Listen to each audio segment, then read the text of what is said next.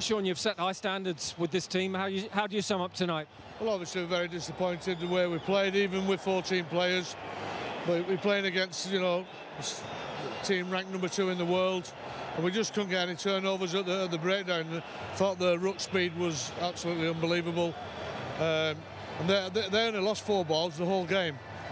You know, whether that be handling errors or line outs, uh, just total turnovers was four. It was just absolutely incredible the performance from the Irish team. I thought it was fantastic, but we should have been more active in that area, trying to create the turnovers.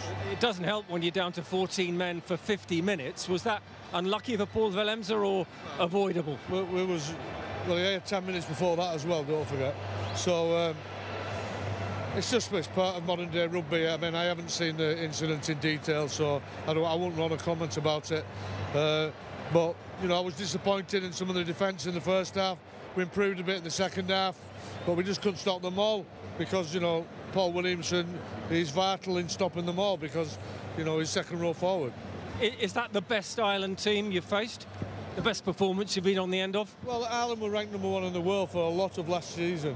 And, uh, you know, unfortunately, they were quite unlucky to lose against New Zealand in the quarter final.